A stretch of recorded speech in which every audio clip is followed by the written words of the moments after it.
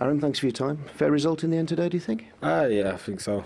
Um, like I said, I think we got the goal at the right time. I think they was on top of us a bit. Um, like I said they're, they're a good side they are, and I think um, second half we got into the game more and we got some good chances.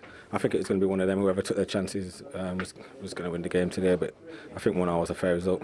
Well, you took your chance. How pleased were you with that finish?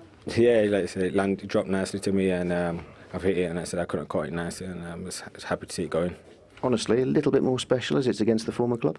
Uh, not really. I said I was actually happy to score my first goal at Goodison. Um, I've been want I've been wanting to get one of them, and um, like I said, I was just happy to see it going today. Well, you've had to take your opportunity today since uh, since you've come to Everton. How do you feel you handled the opportunity you were given today?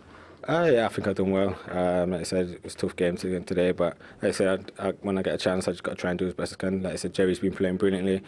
And um, sometimes you've got to be patient in football. And like I said, we're a team and we'll support each other. And like I said, we've got so many games coming up. And like I said, we have such good squads. So sometimes you've got to take your time on the bench or whatever. And when you get a chance, try and take it. A lot of games coming up. And after two tough results here at home, two defeats, yeah. how welcome was that?